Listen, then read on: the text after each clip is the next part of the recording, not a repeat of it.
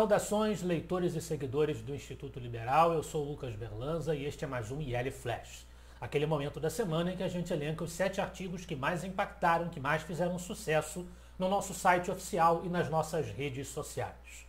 O primeiro artigo do IL Flash de hoje é, se baseia, é, ele foi provocado pelos comentários de um famoso influenciador, um famoso youtuber que volta e meia deixa extravasarem as suas esquerdices nos seus comentários no Twitter e nos seus vídeos.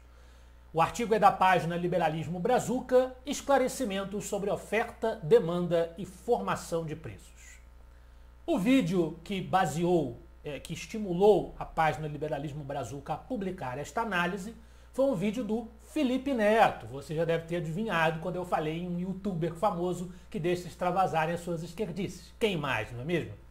Felipe Neto falou sobre a questão da cobrança pelo despacho de bagagem das companhias aéreas e sobre a polêmica da meia entrada nos cinemas, teatros e outras formas de entretenimento.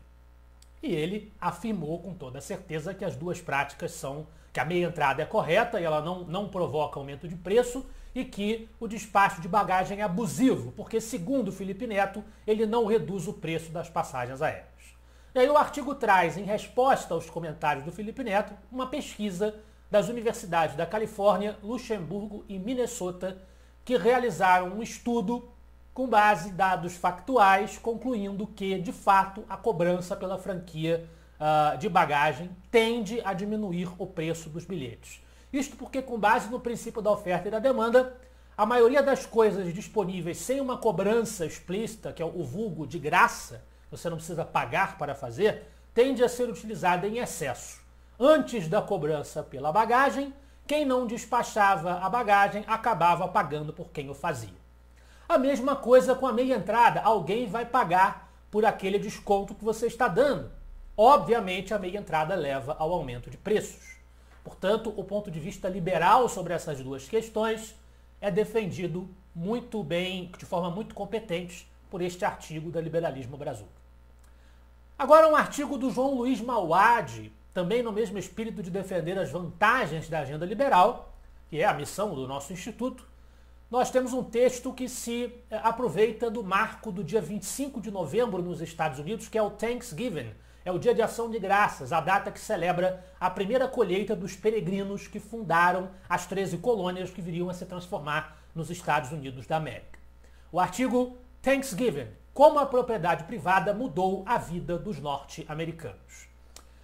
O João Luiz Mauad usa essa data festiva tão importante dos Estados Unidos para fazer menção a uma das primeiras colônias de peregrinos que fundaram as 13 colônias, que foi a, a Plymouth Colony, estabelecida onde hoje é o estado de Massachusetts, nos anos de 1620.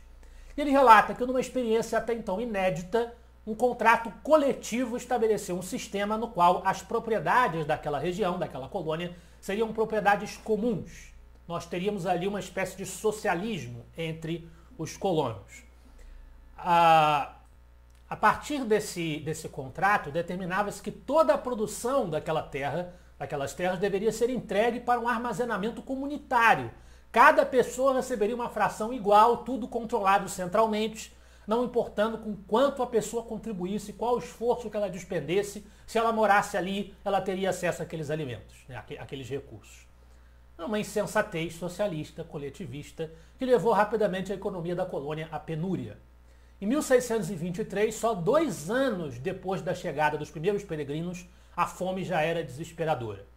O sistema da Plymouth Colony mudou para o regime de propriedade privada, contrato privado, e tudo melhorou é um exemplo concreto dos benefícios do sistema de mercado, dos valores individualistas do liberalismo, do capitalismo. Contra esses valores e esse espírito, nós temos a esquerda e o Alex Pipkin retorna com o artigo A Cultura Esquerdista e a Ignorância Econômica. É mais um texto que denuncia a presença significativa da ideologia de esquerda nos espaços de formação do imaginário, da cultura, das elites culturais no nosso país. Né? A esquerda fabrica os seus agentes nessas esferas da cultura, em especial a esfera das universidades. E esse é mais um texto do Instituto Liberal que aponta para este risco e, portanto, para a necessidade de nós levarmos a efeito um trabalho de educação, um trabalho pedagógico de combate a essas ideias. O esquerdismo anda de mãos dadas com o intervencionismo responsável pela inflação. E o Roberto Rachevski volta ao tema da inflação.